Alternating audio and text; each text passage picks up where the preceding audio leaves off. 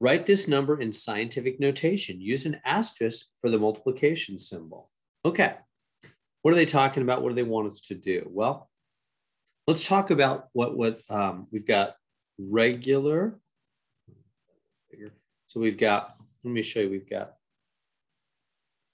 regular, what's called decimal notation. And then we've got um, what's called scientific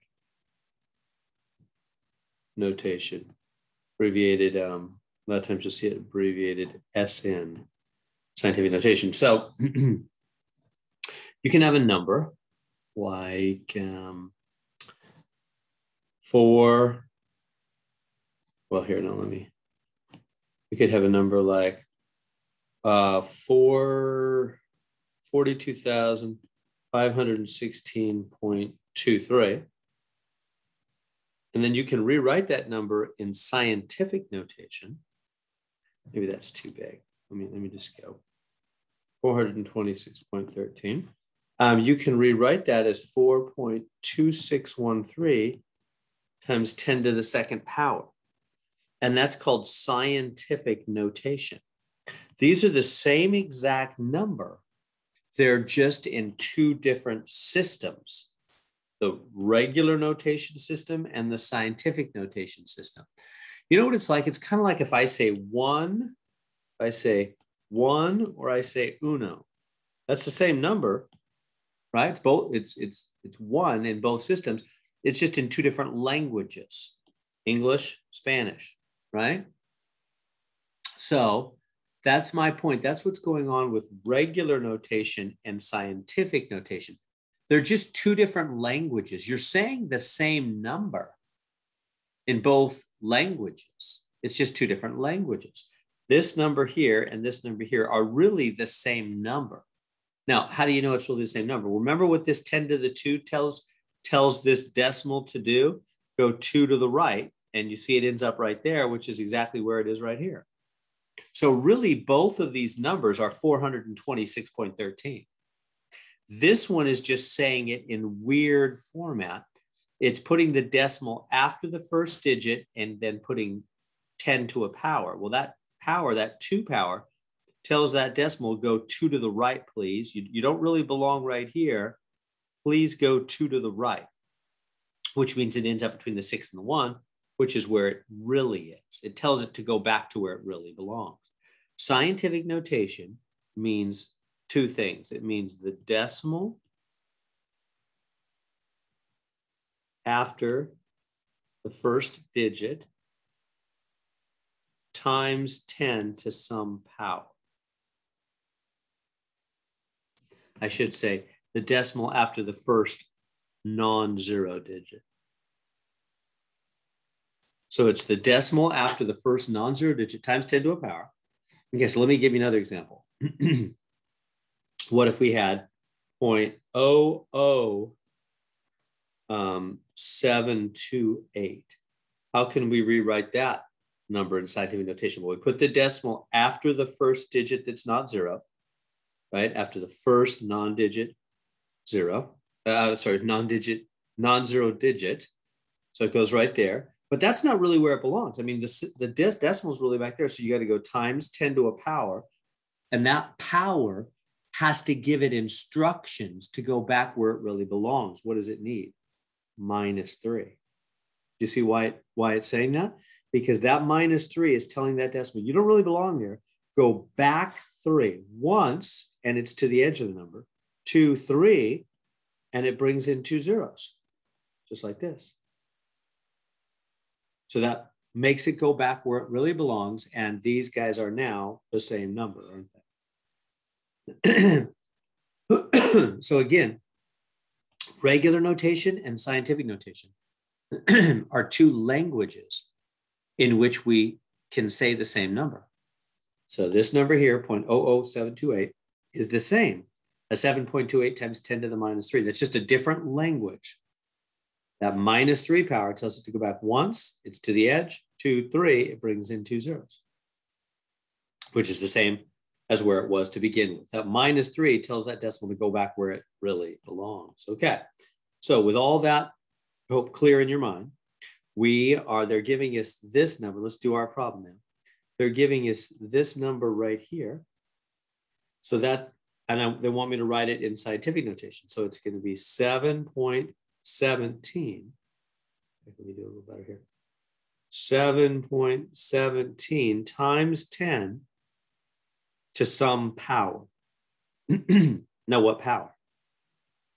What power? How do you know what power? Well, whatever the power is that we put up here, it's got to tell this decimal.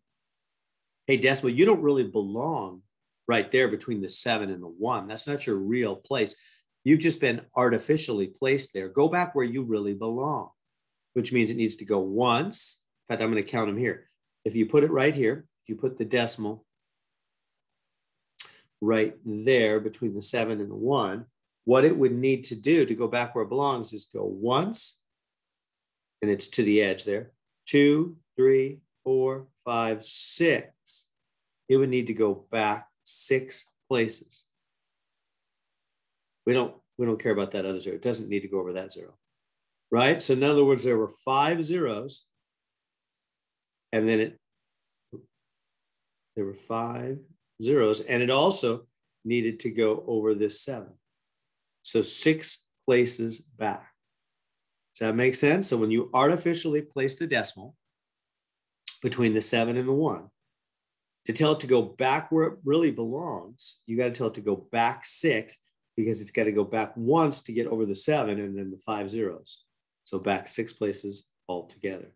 So there's the number written in scientific notation. Now, on the next part, we're going to go the other way. Let me grab this number. But I'll just I'll just do this one down here. Um, 37,600. So now 37,600. Right, 37,600 in scientific notation. So this will be a, a new part here. So how do we do that? Well, same kind of way. So we're going to put the decimal after the first digit that's not zero. So the decimal is going to be put artificially between the three and the seven, right? That's what scientific notation is. Scientific notation is decimal after the first non-zero digit times 10 to a power. And then what power am I going to put up here on the 10 to tell the decimal to go back where it really belongs?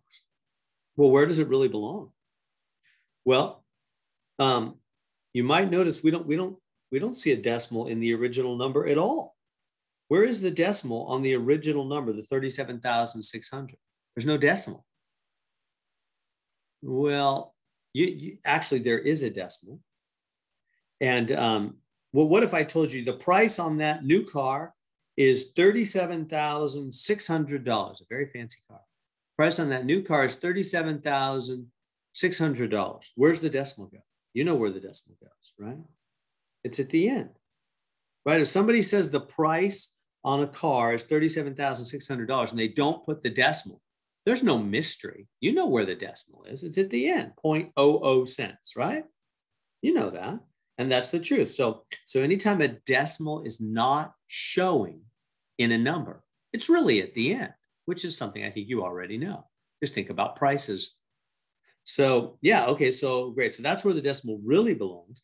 But we have temporarily, artificially put it right here put it right here. So we need to give it instructions up here telling it, hey, go back where you really belong, which is one, two, three, four to the right. So this needs to be four.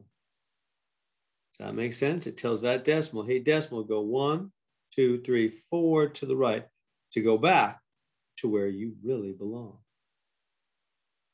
So let's recap. So when they give us a number like this, and they want us to write it in scientific notation, we always put the decimal after the first digit that's not zero, but then give times 10 to a power, and the power gives it instructions to go back where it really belongs. So in this case, minus six, it has to go back, if it's between the seven and the one, has to go back once to get over the seven and then five zeros. So back six. You don't need to go over that last zero. right? That last zero, the decimal, the decimal doesn't go over that. And then this number, 37,600, that doesn't show a decimal. The decimal is really at the end, like a price. And so if you put the, for scientific notation, they want us to write it in SN, scientific notation.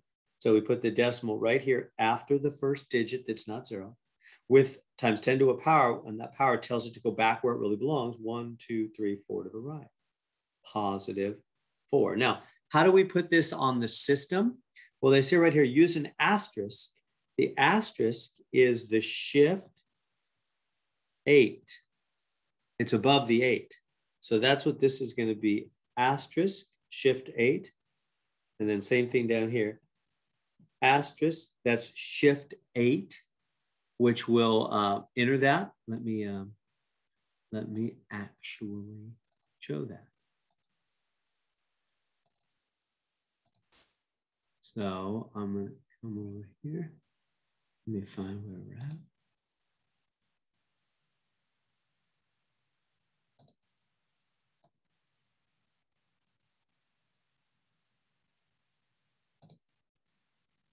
All right, here's here's a different question.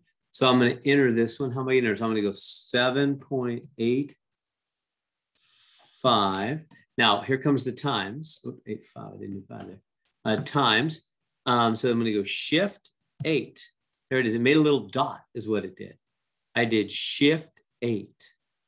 Shift 8 times 10. Now, what power? Then you can hit the power button. Power. What power do I need? It's got to be back uh, 2, doesn't it? Back 2 like that. And let me submit it. Yep, that's right. And there's how they show the answer, just like that. So you do for that, that times dot in the middle, it's shift eight. And then with the 10 to the power, you hit the, you do the 10 and then you do the power button, minus two, like that. And there we go.